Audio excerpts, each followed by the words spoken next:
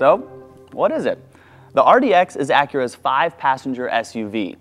In Acura's lineup, the RDX is just a little smaller in size than the MDX. One of the first things you'll notice about the new RDX is the updated styling. The new 18-inch alloy wheels don't look to me like your normal manufacturer type boring wheel. They are really eye-catching. And like other new Acura models, the RDX now has standard LED headlights. They look great and they give the front end a really distinctive look. Around the back, you'll find more LED lighting, along with a great new standard feature on all models, a power tailgate that you can open with the remote, or with a button on the tailgate, or from the interior.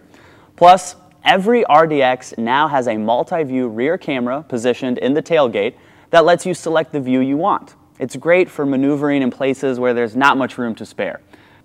The technology and advanced packages offer a rear cross traffic monitor that can alert you when it detects an approaching car about to cross behind you when you're backing out. Okay, power plant.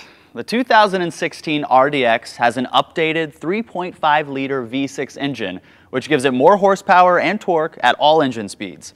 And here's a surprise. Even though the power has increased, the EPA highway fuel economy rating actually has improved a bit.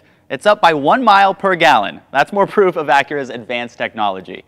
There are also a lot of changes to the RDX that you can't see. The suspension and steering have been completely retuned, I can tell you. It's an impressive improvement. This is an SUV, but the handling sure doesn't make it feel like one on the road.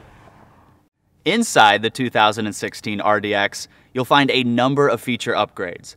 With the technology and advanced packages, you get a 10-way adjustable driver seat and an 8-way adjustable passenger seat. And with the advanced package, the front seats are ventilated. Great in the summer. There's also a colorful new touchscreen display in the technology and advanced packages. It lets you easily control a wide range of systems and drastically reduces the number of buttons for a clean, simple appearance.